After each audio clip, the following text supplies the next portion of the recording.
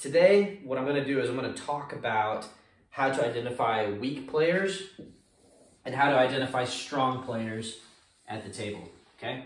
I'm gonna draw this chart and this chart is going to help us identify the general four types of players that you're gonna see at the tables, okay? Now remember, this is not gospel. This is not um, gonna be permanent. So don't be so literal about this, but you're gonna find that this is generally true about people. Plus, people can change, and, and it kind of depends on what mood they're in. So this is really representing more of a play style than it actually is representing how they are always. So if you look up here, there's gonna be aggression, and there's gonna be the passive kinds of players, okay? One thing that all great players have in common is that they are all aggressive. In poker, you're not going to have the best hand often enough to be profitable. You can't just wait around and actually have the best hand all the time. You actually need to be able to push people around and kind of fight fight your way through some of those bad cards and kind of push some of the better hands out of the pots. Um, on this side, we're going to talk about ranges, okay? Which means what are the variety of combos of hands that people could play and um, in what positions, okay? So you have loose range and you have tight range. So we're gonna start first with quadrant one, okay? Think of these people, I like to call them the crocodiles, okay? I'll explain, I'll explain the crocodiles in just a second. Um, but these are the aggressive loose players. And these are the players that have extreme aggression and they have a wider range. You want to be careful because these players play a lot more hands than maybe a tight player would play.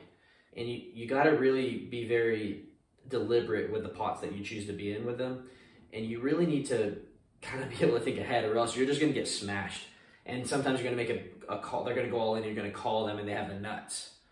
So you got to, you got to really like pick your battles and you really got to be careful with these kinds of players because they're dangerous. These are the crocodiles. They're aggressive. They're wild. They're, they're not scared. They're willing to put their whole stack in uh, and, and bluff you. And, and they have lots of different types of combos of cards. The other types of player that is good and strong that you need to be really careful for are the aggressive tight players. Okay? Now these players are also very aggressive. They're willing to bluff, they're willing to push. You're not seeing cards for free very often with these kinds of players. They're they're forcing you to make decisions with with your chips. You're not going to see a lot of cheap stuff. It's not easy. The difference about these players are they play a tighter range, meaning they only play like stronger cards. So um, even if they have a bluff, they're usually bluffing with big cards. Like, These are the type of players that will raise with ace king suited. But if the flop comes out queen high, they're not to just check and fold. Like these these players will like keep betting. Just like they would with aces or a set of queens. They're to they're to bet and they're to they're to freaking push people around because they have strong cards. So you need to be very careful against these players because they are capable of bluffing. They're just a lot more like tight. So these people are more like a cougar. They're to follow their prey. They're to study their prey out and they're to wait for the prey to have a weak moment and then they're to freaking pounce. They're to pounce on you and they're to be deadly. And that's like what an aggro tight player plays. Like they're they're more precise. They're to fold, fold, and when they and whenever they decide to come in, they're like raise, big raise, all in. It's kind of like they're sitting back, sitting back like a boxer and sitting back, and they don't throw a lot of punches. But when they punch, they punch hard and they come in real hard, and they're not to slow down once they're in the pot. So they're a lot more like raising or folding. They're very deliberate, very scary to mess with. If you got attacked by either a crocodile or a cougar, they're both pretty scary. I don't know what I'd prefer. You know, I'd probably, I'd probably pick a cougar. Anyways, these are the types of players that you're gonna sit at your table and you're gonna notice very quickly um, which players are a crocodile and which players are cougars and then which players are not. We're gonna now talk about the weak players. I, I really want to emphasize that this side of the chart is the strength. And you want to really try to gravitate your game toward this style of play. You're going to see very quickly that this is where the weak players go. And this is where all the money is to be made over here. So this side, this is the passive loose player. And the passive loose player, this is the player that is the easiest to make money from. These are probably the worst players on the table, and they're probably the most profitable player to play against. Um, these are more profitable to play against than even maniacs or the crazy action tables because these are people that are willing to put in a lot of money. They like to limp. They don't raise. They're just going to limp. And they limp with hands like King 7, Jack 6, Queen 9 off suit, 10 9 off suit. Their mindset is this. I just it's only $2 to see a flop. It's only $3 to see a flop. They don't realize you're not paying $2 to see a flop. You're giving $2 to show how weak you are to the aggressive players. They're going to realize, "Oh, this guy's not a tough player. This guy likes to gamble. This guy wants to put in $2 to just hope he hits a flop." He's not playing with purpose. He's play, he's coming to gamble. He's just limping. He's not even raising with his bad hands. He's just kind of hoping he can play a bad hand and hit a hand. That's like the weakest style. And frankly, it almost frustrates me to see it happening all the time because I just feel bad for these players. They're playing so weak. They're limping, and the thing is, they just limp, and then you raise and they call, and they just kind of like limp and they call and they call one more time and then they fold. They just limp and call, and they're just playing bad cards. They're not. They're not playing with purpose. The way you play against them is you play for value. One lesson against these guys. These guys are calling stations, okay? So they will come in to a pot with ace seven off suit, a horrible hand. Okay, that ace seven off suit, and they flop top pair. They flop a pair of aces. Um, they're not to fold. Okay, so don't like if you kind of know that they, if you can realize that they hit top pair, don't don't don't bluff them because they will call you down all the way. they rarely fold, if, if ever. Like it's like so rare that you see a a passive lose a, a quadrant three player fold top pair. They're so they're just calling stations. But when you have a hand, if you flop a set, or if you flop top pair ace king and you flop top pair top kicker, bet the flop, bet the turn, and bet the river because they won't fold. They're just going to call you the whole way, and they're willing to put their whole stacks in with top pair bad kicker. You don't really need to worry about them raising you. You don't need to worry about them bluffing at you very often or um, playing back against you.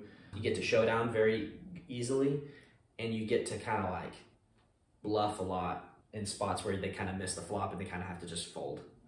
Very easy to play against. You don't win by playing like this. What I would urge you and challenge you to do is try to really honestly analyze your game and, and find out which of these categories you're in and then really try to gravitate towards more of the aggressive style. Quadrant three is the sloth. So I'm gonna put it here and then circle it. They're slow, they're lazy, they don't raise a lot, they're not aggressive, and they just kind of move around. And if you kind of get aggressive at them, they'll usually kind of fold. The sloth, kind of slow, sloppy, not tough, not scary, sloth.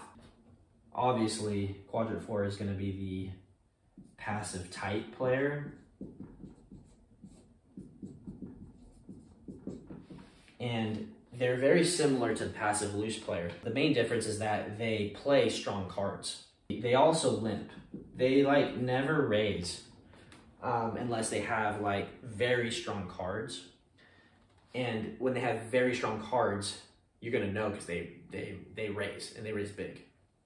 So they're very easy to play against. They they, they play very very straightforward, and they're they're the type of players that's gonna limp in late position.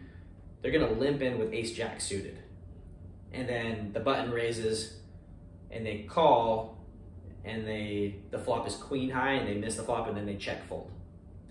That's these kind of players. These are the players you do you can kind of you can bluff at them a lot because they're just so wimpy. I call them the bluffables because they they're just so wimpy and they just kind of they're scared to put money in the pot and they just kind of limp in and they barely call and they just fold. They're, they they can't wait to fold. They just they're just such wimps. They want to like let things go and they don't really put money in the pot unless they have the nuts. You can kind of you can bluff at them. You can kind of bully them a little bit. They are not calling stations. I will say if they do um, re-raise you, like you raise and they re-raise you, you should be very cautious. In fact, I would dare say, like I would, you probably want to consider folding pocket jacks. If you call it pocket jacks, you really should realize like you need to hit a set of jacks or straight or something because they very easily could have aces or kings or queens there. Just these are these are very straightforward players, and you can kind of bully them a lot. Um, they do play a lot better cards though. They play good cards. They just don't really raise very much, and they just kind of check call and check fold, and very very timid, very passive. These people are the sheep.